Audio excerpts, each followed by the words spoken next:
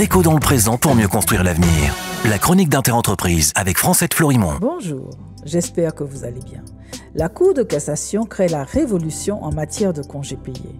Cette Cour suprême de la justice française vient de prendre une série d'arrêts pour mettre enfin la législation française en conformité avec la jurisprudence et le droit européen en ce qui concerne le régime des congés payés.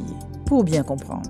Tout d'abord, en opposition avec ce qui avait cours jusqu'alors, depuis le 13 septembre 2023, les salariés ont droit à des congés payés pendant les périodes de suspension de leur contrat de travail pour cause de maladie professionnelle ou non, ou lors d'accidents du travail, y compris si l'arrêt dure plus d'une année. Jusqu'alors, dans ces cas, les salariés n'engrangeaient pas de congés payés. Ensuite, pour les salariés qui prennent un congé parental d'éducation, sans avoir pris la totalité de leur congé payé avant leur départ, les congés sont désormais reportés après la reprise du travail.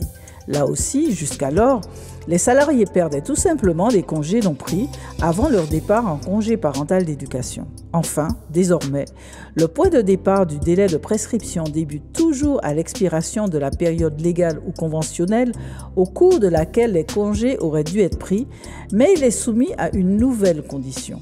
L'employeur devra justifier s'être assuré que le salarié pouvait effectivement prendre ses congés.